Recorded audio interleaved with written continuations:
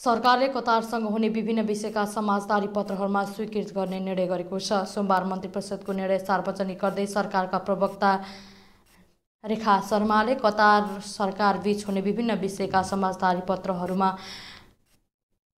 स्वीकृत गर्ने समकक्षी मिलाइ हस्ताक्षर गर्ने स्वीकृति गर्ने निर्णय भएको हो।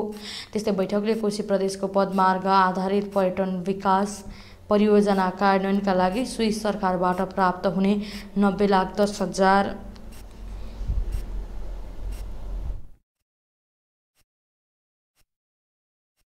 अनुदान सहायता स्वीकार गर्ने निर्णय गरेको छ। कोरियाबाट अन्तर्राष्ट्रिय सहयोग निकायबाट पोखरा महानगरमा हुने हरित परियोजनाका लागि प्राप्त हुने अमेरिकी डलर नौ दशमलव आठ मिलियन अनुदान सहायता स्वीकार गर्ने निर्णय भएको बताएका छन्।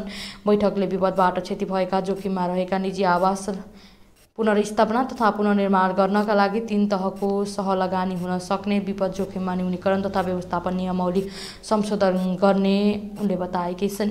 त्यस्तै बैठकले सांस्कृतिक संस्थानको रिक्त सञ्चालकको पदमा काठमाडौँ निवासी पूजा श्रेष्ठलाई चार वर्षका लागि मनोनयन गरेको छ।